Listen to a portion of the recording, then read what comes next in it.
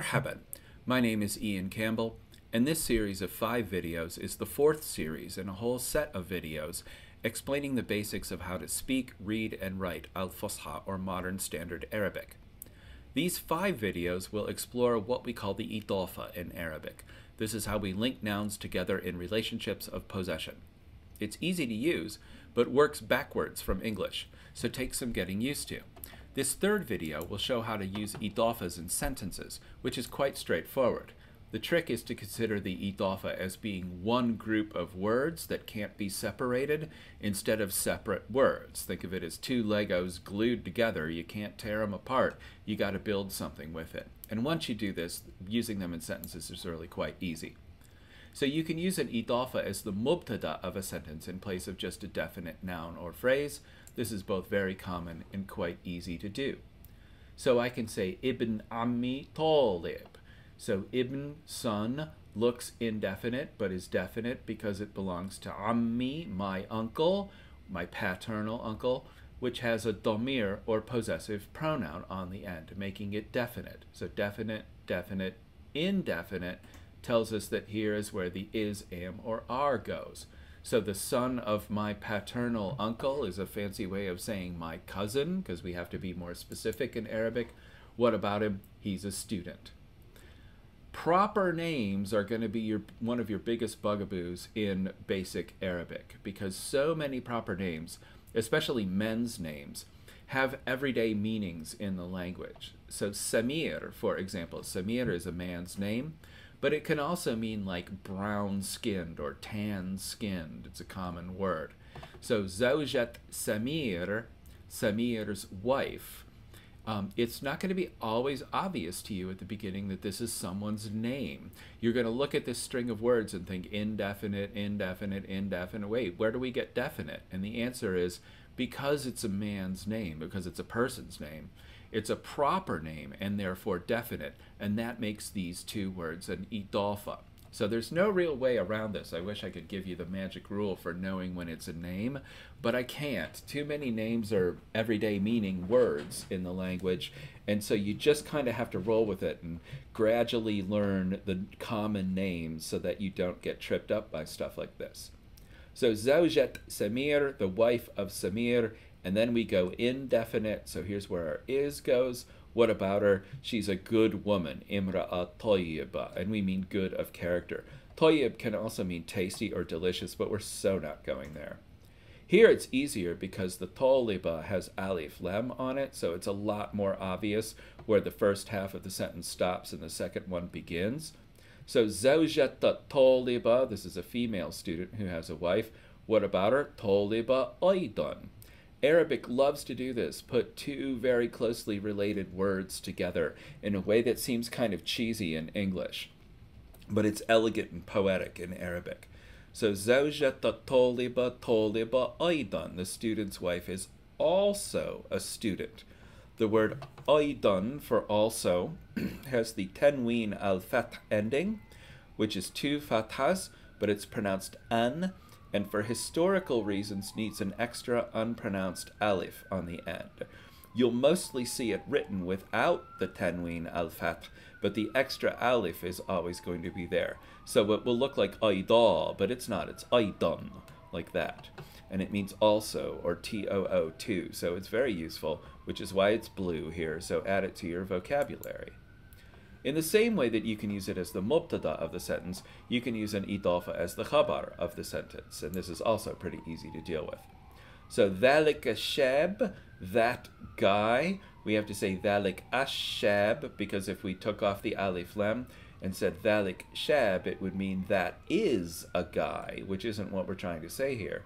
And then we get to ibn khaliha, the son of her maternal uncle, or her cousin. Now, all four of these words are definite. Dhalik, because it's a demonstrative, this, that, these, those. Ashab, bisabab alif lam. Ibn, because it belongs to khaliha. And khaliha, bisabab ad-domir, because of the pronoun. So they're all definite. So it might not be super obvious for a real beginner to sort out what's happening here. But here, this word looks indefinite, and that's good enough for sentence purposes. So definite, definite, secretly definite, but looks indefinite. So here's where our is, am, or are goes. So we have that guy is her cousin. Same thing over here. Had the talib, this the student, or this the student. And then here's another man's first name, Muhammad, but it's so common that you'll learn it really quickly. And then Habib. Habib means beloved, so boyfriend, girlfriend. It can be a gender neutral word here, but we've already established that it's a male student, so Muhammad's boyfriend. Habib is definite because he belongs to Muhammad, and he doesn't belong to Muhammad. This is an equal relationship here. But he looks indefinite, and that's how we know where to put the divider in the sentence. So, Hada Talib Habib Muhammad. This student is the Habib of Muhammad, or Muhammad's boyfriend. None of this is really rocket science. I'm just giving you some basic examples of it so you see it and what you might get tripped up on. The really tricky part is when you have an indefinite adjective after the idafa. And the rule that you need to remember is the adjective, when the adjective is indefinite, it modifies the first word of the idafa and not the others.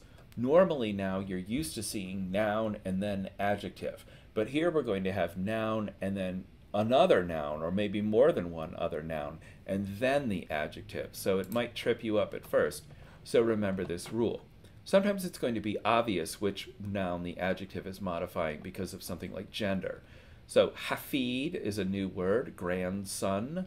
Ustadatina, our professor, who is a woman, because this used to be a ta marbuta, but when we put the suffix on it, we changed it back to regular ta. And then dhaki for smart. So masculine, feminine, masculine, it should be pretty evident here that dhaki modifies the hafid not the professor.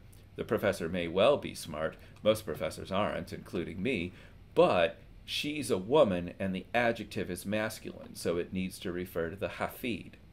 Same thing over here. So shaqqat, apartment, talib, the apartment of the talib, or the student's apartment or flat. Jamila, beautiful or pretty. Here we have feminine, masculine, feminine, so it's easy to tell that however attractive the student may be, we think that their apartment is, we think that his apartment is beautiful. Same thing over here. Hafidat Ahmed. Ahmed is a man's first name, again, a pretty common one. Hafidat Ahmed, the granddaughter of Ahmed. Tawila. Well, Tawila is feminine singular, so the granddaughter is tall. Ahmed, we don't know. He wears flat. He wears lifts in his shoes. No idea. All right. However, sometimes they're all the same gender, and it can be a little bit ambiguous. So remember the rule. When we have an indefinite adjective after the idafa, the adjective modifies the first word of the idafa, not the others. So hafidat ustadatina dhakiya.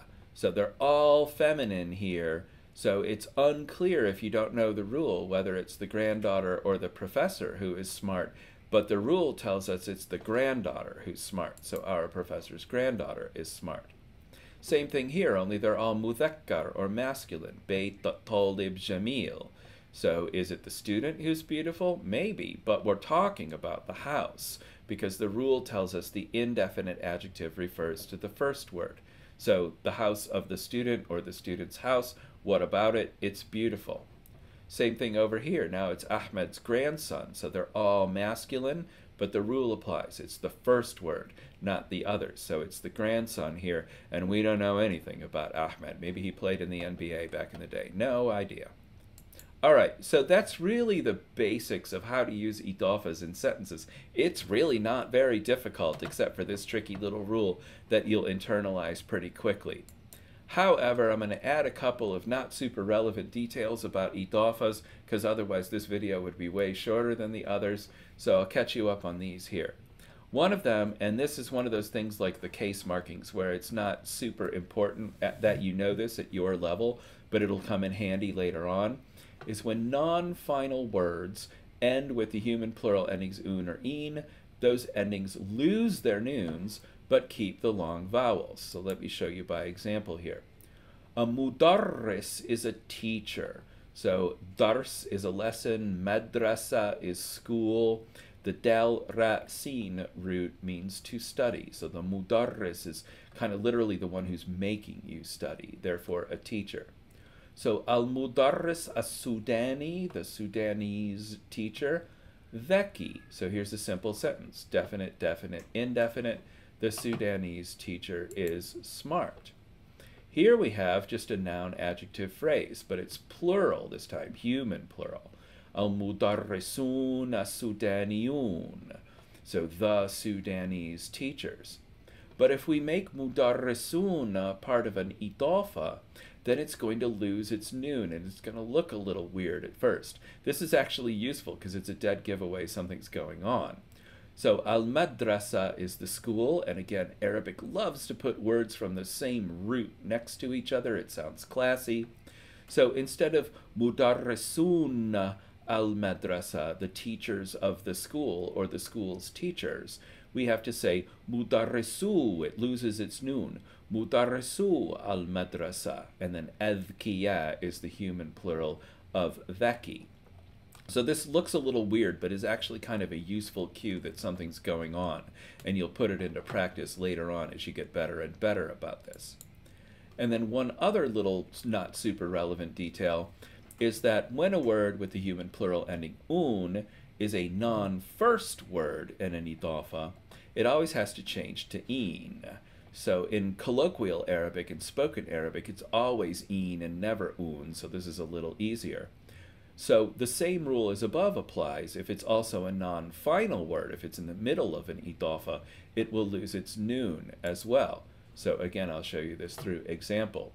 So al-muhandasun al-adhkiya, the smart teachers. So human plural, human plural, they're both definite. It's a phrase, not a sentence. And I said teachers, and I meant engineers. Excuse me, it's very late in the day. Muhandasun al-adhkiya, the smart engineers. Now we have astika. Astika is the human plural of sadiq for friend. If you said sadiqun, everybody would get it but it's astika. So astika now because muhandasun is a non-first word in the idafa, it has to become muhandasin. So al muhandasin. Most native speakers will say muhandasin all the time. So this isn't really all that important, but it's useful to know at some point. And now we're going to make a sentence. We're going to say maktab, the office, muhandasin because it's now a non-first word in an idafa, but it's also a non-final word in an idafa, so it's going to lose its noon. So muhandasi asharika, sharika is a useful word, company or corporation. Kibir, so indefinite adjective. So the office of the engineers of the company or the office of the company's engineers. What about it? it's big. And this video's not, because that's really all I've got in this. In the next one, I'll be talking about how to use idafas in phrases, which has an additional wrinkle that makes it trickier. But for now, I'm going to say ma